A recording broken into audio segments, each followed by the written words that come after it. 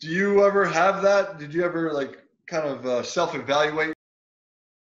Yeah, you know, sometimes when you're feeling really good and and things are going your way and you know the ball is this big and you know you, you think you got everything figured out and you know and and that's when i tend to get in trouble instead of keeping things simple and keeping keep doing the things that i've been doing for you know that that success at that time you know sometimes i felt like or I'm squaring up the ball now. I'm hitting line drives. I'm finding the barrel of the bat. I'm hitting them pure, you know. And then, then now I'm like, okay, well, maybe now the now's the time to get my power numbers up. Maybe let's maybe swing a little bit harder or try to launch something, try to hit a home run, you know. And it's like that's a bad, bad mentality to have, you know. And it's like what's working, you know, stick with that instead of trying to do too much, you know. And then and then I feel like that can lead to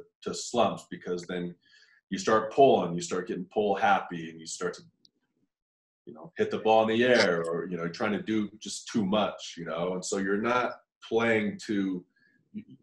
I felt like I was not the player that I am when I got to that point. Does that make sense? Yeah, hundred percent, man. That's great. So those home runs are going to come. You know, you keep hitting line drives, and you know, you're finding the holes, and you know, I mean, looking back, it's like, gosh, man, you know, there are some instances where I, I wish I would have kept, you know, kept going at that rate, but uh, now I'm trying to do too much because I felt sexy, right?